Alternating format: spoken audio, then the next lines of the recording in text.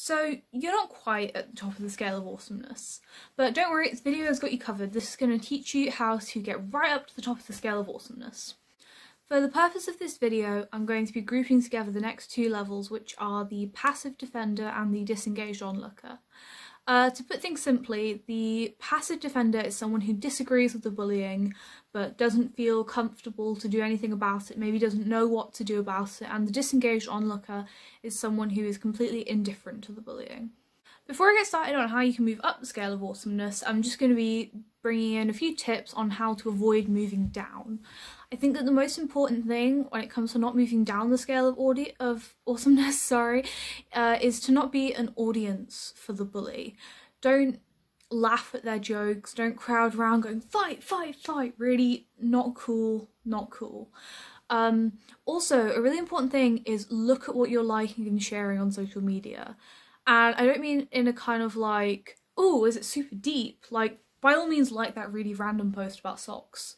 But please do not like and share stuff just because your friends have posted it and not look at it because it could be bullying. Always check, does someone appear in this video or photo without their consent? Is it a flattering video or photo? Is there something mean? And if there is, don't like and share it. You can even go one step further and report it. But the moment you like or share, you're telling the bully that I think this behaviour is cool, your behaviour is acceptable, I'm totally fine with this, which you're not, so don't do that.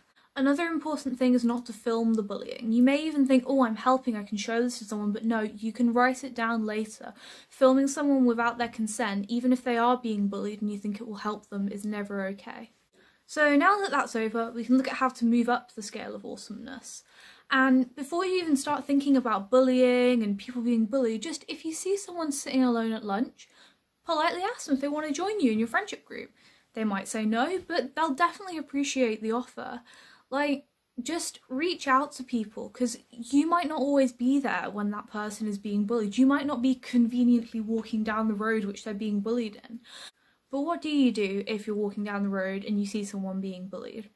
Well, first of all, you if it's safe to do so you can make it clear that you don't support the bullying and you can try and help the person who's being bullied if you don't feel that that's safe then you can find a teacher or a parent or an adult and tell them uh, what you have seen I think a really important thing to do is to talk to the person who's been bullied and see what they want to do because sometimes it can be very tempting to wade in and be like, I'm the hero of this situation. And it is honestly really great that you're stopping bullying.